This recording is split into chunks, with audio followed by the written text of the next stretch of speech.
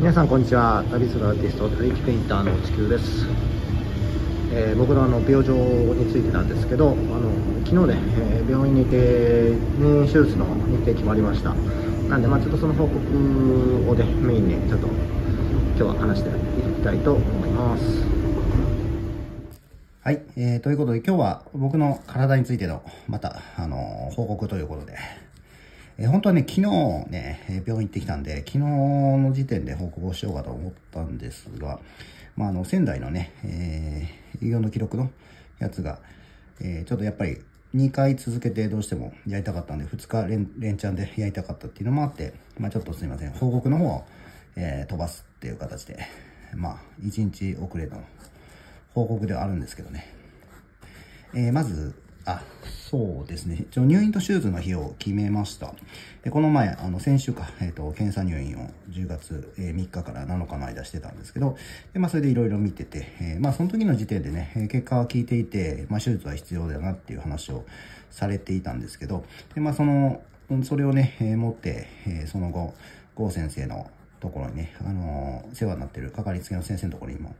まあ、その内容を見てもらいながら、うん、これは手術まあ、入院した方がいいねっていうことで、あとはまあそれをね、えー、具体的にね、いつするかっていうのをちょっと、えー、考えてきてくださいということで、まあ、退院の時点で、えー、と、担当の先生に言われてたんですよね。で、それをまあ、昨日火曜日ですね、えっ、ー、と、11日火曜日に、えー、まあ、火曜日がね、そこの先生の、あの、外来の日なんで、というのもあって、えー、じゃあ、その時に手術の日を決めましょうという話だったんですね。で、まあ、えー、最その時にもね、退院の時点でも言われたんですけど、一応最短でできるのが11月4日だと。で、まあそこかなとは思いつつですね、えー、まあちょっとどうしようかな、いろいろ考えるとこもあったので、えー、ですが、まあ、結果的には、まあ、えー、4日。で、えっ、ー、と、まあ、その前日、本当はね、あの、手術の前日に、まあ、入るみたいなのが普通なんですけど、えー、前日が、まあ、文化の日か、えー、祝日なもんですから、まあ、そのさらに1日早く、えー、11月2日に入院します。で、入院をして、えー、4日に手術。まあ、その日はもう手術で大体終わって、で、翌日からはまあ一応動ける、起きて、普通に、まあと言っても歩けるのは歩けないかと思うので、えっ、ー、と、車椅子になるかと思うんですけど、で、まあリハビリスタートということで、で、まあ一応予定では、僕の中では、月末、11月末までは入院して、えー、リハビリをしたいなと。で、まあ先生が言うには、えっ、ー、と、やっぱりどうしてもね、もっともっとかかる人はかかるので、えー、まあ1ヶ月で済まないかもな、みたいな場合もあるんだっていうのは、あの、一応、覚えておいてほしいみたいなことは言われたんですけど、まあ一応そうですね、僕の中では、やはり、えー、なんとか11月中には出たいなっていうのもあるので、まあそれを目指して頑張ろうっていうふうなつもりでおります。うん、なかなかね、そのずっとね、仕事せんでいるってわけにも、まあ、いかんですし、まあ、まあ、ちょっとその、その時になってみないとわかんないんですけど、まあ、なんとかね、えっ、ー、と、ちょっとしばらく仕事しなくてもいいような準備は、その金銭的な部分、あんま僕も貯金がある方ではないんですけど、えー、まあ、準備は一応して、うーん、まあ、そうですね、本当に、あのあんまりカツカツになってもあれなんでね、あのそ、そういうので、なんですか、体の、ね、えっ、ー、と、負担が出てもしょうがないんで、ちょ、まあ余裕が出せる状態でということで、まあ準備は一応してはいるので、まあそうですね。まあ、もし、丸々2ヶ月ぐらい入院したとしても、なんとかなるようには、一応準備はしてはあるんですが、まあ、あとはそうですね、とりあえず片付けをするとか、あと、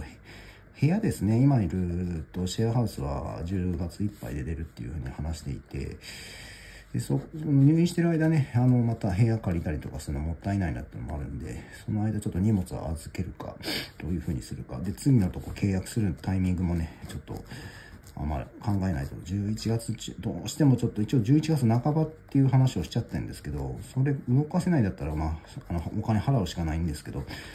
なんとかなるんであれば、えっ、ー、と、12月からの契約に直せるかな、みたいなのちょっと話をしていこうと思っていて、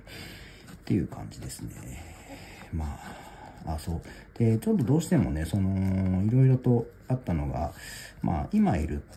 ところがね、11月7日まで、あの、まあ、バイトがね、なので、契約期間、本当は最後まで痛かったんですけど、まあ、そういう、それをね、待っててっていうのもちょっと違うなっていうのもありまして、で、あとは、まあ、一応10月いっぱいでね、えっ、ー、と、まあ、退職するような流れで、ちょっと、あの、派遣会社の方にはもう連絡はしたんですけど、希望は伝えたんですけど、それが通れば10月末で退職できるんですが、それにしても、あの、健康保険証が一応、あの、社保に実はもう入っちゃっているので、それがこう、送られてきたりとかして、手続きして、で、まあ、国保に切り替えて、で、まあ、手術とかするんで結構かかるんで、あの、限度額認定証ってやつを、要は発行してもらわなきゃいけないんですけど、それはまあ、市役所行けばね、国保の手続きした時に同じく手続きはできるんですけど、ただその、ね、社保の喪失証明みたいなのが郵送されてくるのは結構1週間ぐらいかかるんですよね。で、なってくると、それを待っちゃうと、まあ多分ね、1週間か10日ぐらい、じゃあ11月の、もう、そうですね、2週目とか、こう、なんて言うんだろう。ちょっと2日の入院はまあ、まず無理なんですよ。なんでちょっと参ったなって話をそれをね、担当の先生にしたら、じゃあ、あの、一応まあそういう、なんていうんですかね、えー事務方のね、あの、病院の方でも事務の担当の方で、その辺、まあ、強い人がいるんで、ちょっとそっちにつなげるねっていうことで言ってくれて、で、まあ、あの、診察終わってから会計も終わった後にですね、えー、その方とちょっと面談をして、えー、どうやらね、あのー、まあ、結構そういう方いるらしいんですけど、あの、代行で、えっ、と、やってくれると。その、なんで、まあ、とりあえず、えっ、ー、と、退職した時に、こう、本来自宅に送られてくるであろう、えー、その、喪失証明っていうのを病院宛てに送ってもらうようにまずは言って、で、その上で、えー、まあ、届いて、まあ、僕がもう入院はね、11月2日の時点でしちゃうんですけど、まあ、入って、まあ、しかも手術も多分しちゃいますよね。そのあたり、まあ、だからリハビリとかして、ね、あの、心置きなく、その、もう11月頭から入れるように、えー、全部ね、その代理で手続きをしてくれるっていうことになったんで、すごくちょっとそれは良かったなと。うん、ある程度大きい病院だとそういうね、あのシステムというかあるんだなって。それで、やっぱり独り身の方って結構ね、なんだかんだやっぱりいら、こういうまあこの時代だからかっていうかいらっしゃって、えー、そういう手続きもまあ別に珍しくはないらしいので、なので、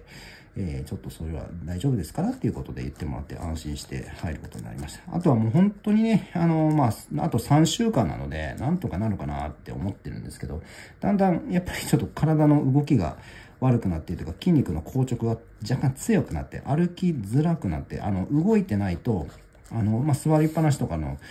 あとはま寝起きもそうですけど、もともとだんだん硬くはな、あの、その寝起きとか硬くはなってたんですけど、それがちょっと強くなってかなり、あのー、まあ、の、動き、動いてるとまた動けはするんですけど、それにしても以前よりはこう長く歩けなくなったりとか、あの、出てきてるので、まあ本当、あとどのぐらい持つのかなって、もうよっぽどやばくて動けなくなったら、もう早めにあの、手術前にもう早めに入院しちゃうしかないよねって話もあるので、まあ、それも含めてなんですけど、まあ、なるべくはそうなりたくないので、とは思うんですが、えー、と、一応、いつ入院してもいいようなには、ちょっと片付けとかもね、しとかないとなと思いながら、まあ、今週、今日、今日じゃない、えっと、まあ、昨日ね、火曜日休みで、えっ、と、まあ、今日明日は、ちょっとバイト行ってって感じなんですけど、金、金土がまた休みなので、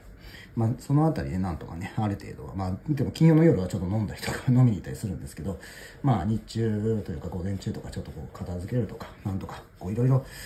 ね、あ、のー、できることはやって、えー、なるべく早めに入れるような準備をしていこうかなとは思ってます。まあ、うんとね、えっ、と、まあ、昨日の動画でも話したんですけどね、なんとかね、やっぱりこう、本当また旅をね、したいですからね、動けるようになるので、もう本当ちょっとこう、動けるイメージ、動くイメージ、旅して回るイメージしながら、もうリハビリをしていこうっていうふうに思います。本当にもう、今の状態であがいても、こう、動け